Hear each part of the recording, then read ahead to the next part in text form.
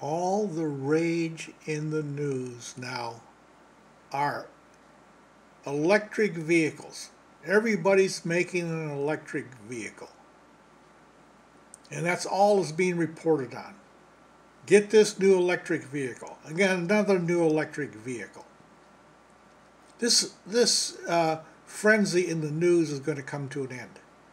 All of these new electric vehicles they talk about, you never find them on the road.